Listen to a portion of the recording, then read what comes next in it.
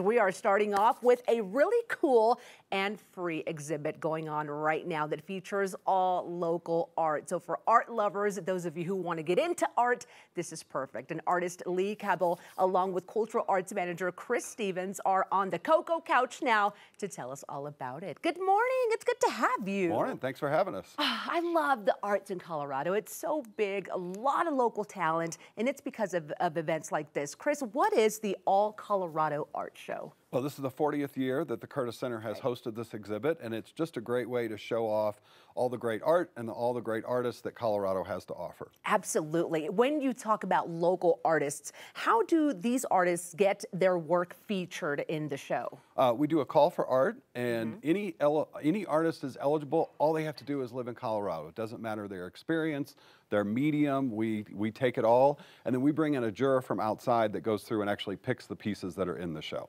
Oh, that's amazing. Okay, and Lee, you're one of the artists that's featured. Tell me how you got involved and what was your process like? I, I applied to the show at the, mm -hmm. and then, like you said, it's a juried show, so I was selected. It's just a matter of selection once you've applied. Yeah, tell us about your art. My art, I'm a recycled artist, so mm -hmm. I. I pick up chip bags and coffee bags. They're mailed to me, and then I cut them out and I sew them back together to make landscapes. That is incredible. How long have you been doing that? I've been doing that about five years. That's awesome. Now, what does it mean to you to have your art featured in shows like the All Colorado Art Show? How does that help? Um, it's lovely to meet other Colorado artists, but this is such an intimate, lovely venue, and Chris is fabulous to work with. So mm -hmm. I mm-hmm. really enjoy being at the Curtis Center.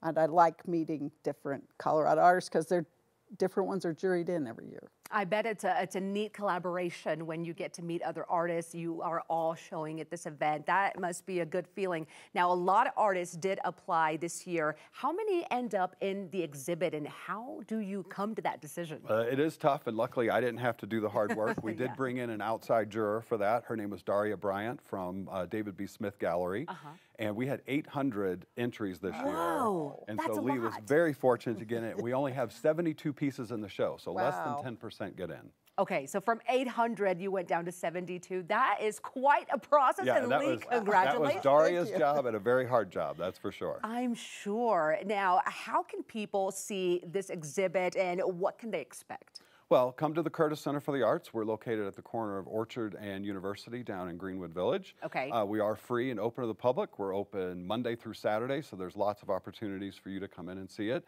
And it is a diverse offering of art. I mean, we've got all kinds of mediums from ceramic to painting to to things like what Lee does, and that's one of the things we're big fans of Lee's work, and yes. we really like her process and, and, what she does. It's really neat. Now, are the artists there as well during the art show, or just on uh, the exhibit, or just on particular times? Yeah, we we had a big reception. We always kick okay. off our exhibits with a big reception. We had about 300 people this year for that one. Nice. It was a little hot, a little packed, but it was great to have all the artists lovely. together in one place. Hasn't the weather been crazy?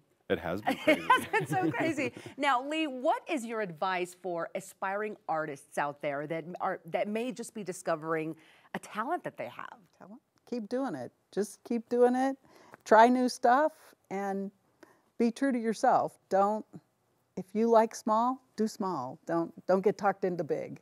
Exactly. Just go with your gut and what mm -hmm. you mm-hmm. know, right? Yes. Okay, one more time, give us where people can go to this exhibit and how long does it go for? Uh, we're it's open till the end of August. August 26th okay. is the last day.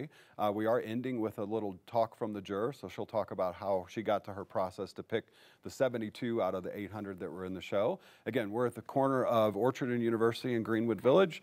Open Monday through Saturday. We love to have visitors, so please come down. It's it's always free and open to the public. That's going to be an interesting discussion for the juror. I would love to know how she came down to just 72 pieces. Well, what a great opportunity. The All Colorado Art Show is free. Thank you so much for being with us today. Thanks for having Thank us. Congrats to you, Lee. Thank you.